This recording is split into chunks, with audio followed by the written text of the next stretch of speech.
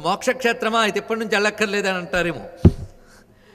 ఎందుకంటే అది కావాలి అంటే ఎంతమంది సిద్ధమండి? ఎవరో పక్క వాళ్ళ మీద మొహమాటంతో వచ్చి కూర్చుంటామే కానీ నిజంగా కామకోడు గురించి చెప్తే ఆసక్తి ఎంతమంది ఉంటుంది?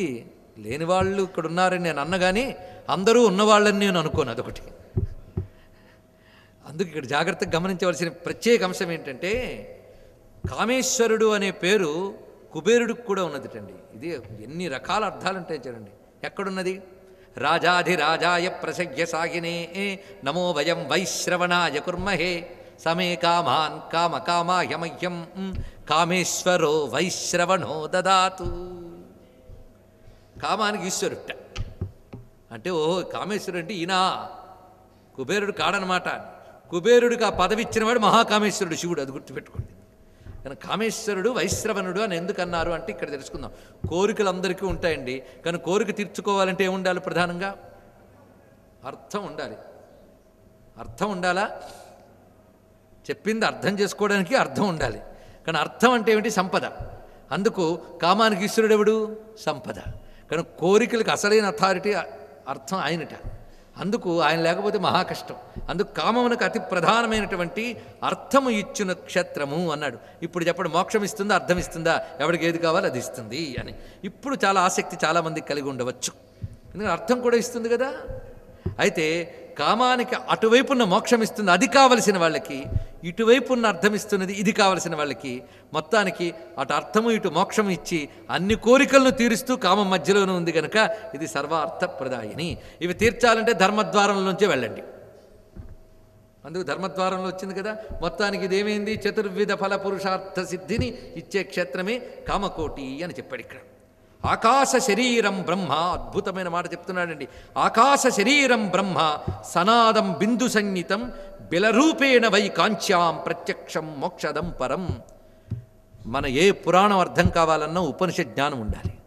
సాధారణంగా ఉపనిషత్తులు చదివిన వాళ్ళు అంటూ ఉంటారు ఈ పురాణాలు ఇవి అక్కర్లేదండి అని. వాళ్ళ మాటలు మనకు అక్కర్లేదని తెలుసుకోండి ఇక్కడ. ఎందుకంటే ఉపనిషత్తు బాగా అర్థం అవడానికి పురాణం సహకరిస్తుంది మనకి. ఆకాశ శరీరం బ్రహ్మ అనేది ఉపనిషద్వాక్యం ఈ వాక్యం పట్టుకుని త్యాగరాజస్వామి వారు ఆకాశ శరీరము బ్రహ్మమనే అనో కీర్తన కూడా రచించారు ఇక్కడ. ఆకాశ శరీరం బ్రహ్మ సనాదం బిందు సంజ్ఞితం నాదబింద్వాత్మకమైన ఆకాశమే పరబ్రహ్మ యొక్క వ్యక్త స్వరూపము అన్నారు ఇక్కడ.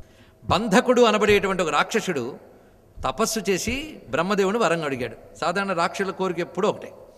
ఏంటి? ఎప్పుడూ బతికుండిపోవాలి అని. వాళ్ళ కోరికైనా మనకు మాత్రం లేదు. తీరదుగను కోరుకున్నాం కానీ తీర్చుకునే ప్రయత్నం చేసిన వాడు రాక్షసుడు తీరదలేని ఊరుకున్న వాళ్ళం మనం అంతే. వాడు మహాప్రయత్నం చేశాడు. బ్రహ్మదేవుడు ప్రత్యక్షం చేసుకున్నాడు చేసుకుని అంటున్నాడు. ఇదిగో నాకు చిరంజీవి కావాలని బ్రహ్మగారు అన్నారు అది నాకుంటే నీకు ఇచ్చేవాడిని అన్నాడు. ఎందుకంటే నేను కూడా నాకు నూరు కల్పాలు లెక్క అయితే నా పని అయిపోయింది. నీకు నేనేమి ఇస్తానన్నాడు ఇక్కడ. అప్పుడు ఇంకేదైనా కోరుకో అన్నాడు. గట్టిగా ఆలోచించాడు. ఈ జగత్తు నశించే వరకు నేను ఉండాలన్నాడు. చాలా తెలివైన వాడండి ఇదేదో బాగుంది. అంటే ప్రపంచం నశించే వరకు ఉండాలి అన్నాడు ఇక్కడ. ఓహో. అంటే బ్రహ్మగారికి అంతా అంత అనమాట ఇంకా నయంలేండి బ్రహ్మగారికి మొత్తం ఒక్క కల్పకాలం అయితే ప్రపంచం నశించిపోతుంది. అప్పుడు ఆయన ఉంటాడు బ్రహ్మగారు. ఆయన రెస్ట్ తీసుకుని మళ్ళీ వస్తాడు. కానీ మొత్తం జగత్తు నశించేదంటే కల్పాంత కాలంలో యుగాంతంలో జగత్తు నశించదు. కల్పాంతంలోనే నశిస్తుంది. అసలు మన చరిత్ర తెలియనటువంటి వాళ్ళు రచయితలుగా బయలుదేరిపోయి యుగాంతం ఇలాంటి కబుర్లన్నీ వాడుతుంటారు. యుగాంతంలో ఏమీ నశించిపోదు. సంవత్సరాంతం ఎంతో యుగాంతం అంతే. చిన్న ట్రాన్సిషన్స్ ఉండొచ్చు కొన్ని కొన్ని మార్పులు ఉండొచ్చే తప్ప నాశనం ఏమీ లేదు. కల్పాంతంలోనే నాశనం. అది ఎప్పటి నుంచి ఏమీ రా తొందరపడద్దు. ఇంకా మనం ఏడో మన్వంతరంలో ఉన్నాం. ఒక కల్ప పూర్తి కావాలంటే పద్నాలుగు మన్వంతరాలు. ఒక మన్వంతరం పూర్తి కావాలంటే డెబ్బై ఒక్క మహాయుగాలు. అబ్బో చాలా ఉందిరండి బాధ లేదు. ఇప్పట్లో ప్రపంచానికి ధోకా లేదు. మన సంగతి తర్వాత. కానీ మహానుభావుడు ఏంటి ప్రపంచం నశించే వరకు నేను నశించకూడదు అన్నాడు ఎవడు? బంధకుడు అనబడేటువంటి రాక్షసుడు. పేరు చూడండి ఎలాంటి పేరు? దీన్ని బట్టి ఋషిస్తున్న సజెషన్ అర్థం చేసుకోండి. ఇలాంటి పేర్లు ఎవరైనా పెట్టుకుంటారండి? బంధకుడు అని. ఏ తల్లి పెడుతుంది చెప్పండి? మా అబ్బాయి పేరు బంధం అని. ముందో వెనకో ఏదో ఉండాలి. వీడి పేరు బంధకుడు. కొన్ని బాగుంది ఏదో పేరు. వాళ్ళ అమ్మగారి టేస్ట్కి నమస్కారం. అంత చక్కటి పేరు పెట్టింది బంధకుడని. వాడు లోకాంతం వరకు నేను బ్రతుకుండాలని కోరుకున్నాడు. దానితో బలము ఇత్యాదులన్నీ సంపాదించుకుని ఇంకా దేవతలందరినీ గడగడలాడించాడు. దేవతల పదవులన్నీ ఆయన తీసుకున్నట్ట. ప్రతి దేవత చేసి రాక్షసులు చేసినట్టే చేశాడు ఈయన. అప్పుడు దేవతలు పారిపోయారు అక్కడ ఉండలేక. ఎలా పారిపోయారంటే వాళ్ళు బిలంలోకి ప్రవేశించారట. ఇక్కడ చూడండి ఆ బిల ప్రవేశం ఎలా జరిగిందో.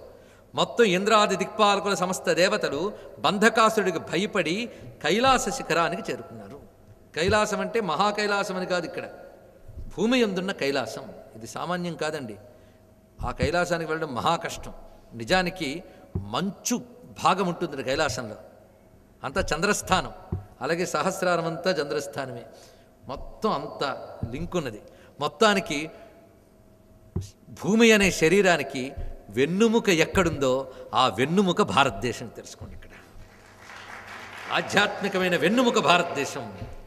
మన వెన్నుముకలో యోగశక్తులు ఒక్కొక్క కేంద్రంలో ఉంటూ ఉంటాయి. అవే క్షేత్రాలు. అందుకే భారతదేశంలో అడుగడుగున క్షేత్రాలు. అందుకు భారతదేశానికి ప్రాణం ఆధ్యాత్మికత భారతదేశానికి ప్రాణం దివ్యత్వం.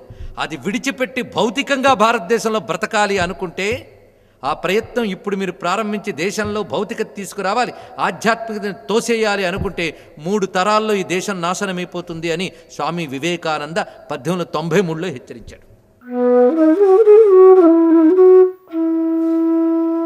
పదిహేడు నవంబర్ రెండు వేల ఇరవై స్వస్తి శ్రీ చాంద్రమాన శార్వరీనామ సంవత్సరం దక్షిణాయనం శరదృతువు కార్తీక మాసం శుక్లపక్షం సూర్యోదయం ఉదయం ఆరు గంటల పద్నాలుగు నిమిషాలు సూర్యాస్తమయం సాయంత్రం ఐదు గంటల ముప్పై రెండు నిమిషాలు వారం మంగళవారం తిథి శుక్ల తదియ రాత్రి ఒంటి గంట పంతొమ్మిది నిమిషాల వరకు తదుపరి శుక్ల చవితి నక్షత్రం జ్వేష్ఠ మధ్యాహ్నం పన్నెండు గంటల ఇరవై రెండు నిమిషాల వరకు తదుపరి మూల వర్జ్యం రాత్రి ఎనిమిది గంటల నలభై నిమిషాల నుండి రాత్రి పది గంటల పదహారు నిమిషాల వరకు. రాహుకాలం మధ్యాహ్నం మూడు గంటల నుండి సాయంత్రం నాలుగు గంటల ముప్పై నిమిషాల వరకు. దుర్ముహూర్తం ఉదయం ఎనిమిది గంటల పంతొమ్మిది నిమిషాల నుండి ఉదయం తొమ్మిది గంటల ఏడు నిమిషాల వరకు. తిరిగి రాత్రి పది గంటల ఇరవై ఎనిమిది నిమిషాల నుండి రాత్రి పదకొండు గంటల పదహారు నిమిషాల వరకు. ఈరోజు ప్రత్యేకం త్రిలోచన గౌరీవ్రత దినం.